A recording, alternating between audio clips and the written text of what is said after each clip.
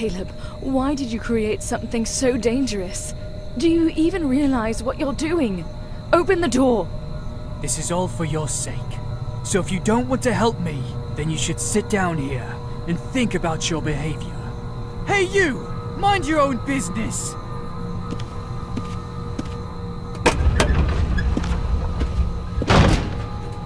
Please, set me free, and I'll answer all your questions. The key must be here somewhere.